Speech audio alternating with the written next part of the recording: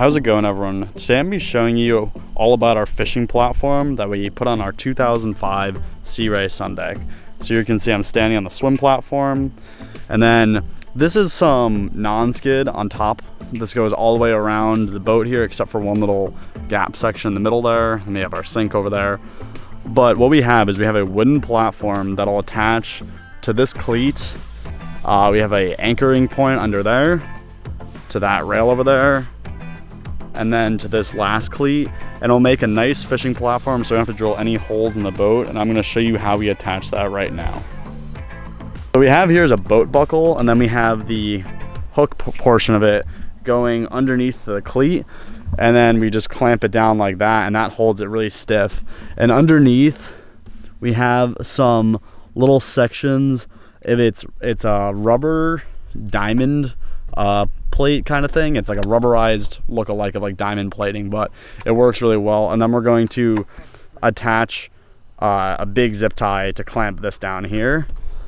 And then you can see same thing with the other side. We just got that boat buckle clamping through there. And then we have a cable that comes out of here that's attached to a bulkhead of the boat. And then we're gonna have a zip tie that attaches to that cable, just kind of hold it down.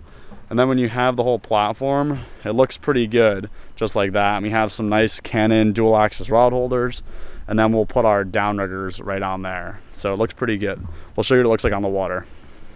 Okay, so I just wanted to give you guys a uh, closer look at the platform we made. So here it is, when it's working, we got some rods there. There's our downriggers all attached. And there's the boat buckles once again. Just want to show you, and then we have our power cables going down to our batteries in there. We've got some, these are our Cannon dual axis rod holders, Cannon downriggers, and then that's the uh, 24 inch track. So it works out pretty well. And we got this piece of wood here so you can stand up and uh, fish off of this back area.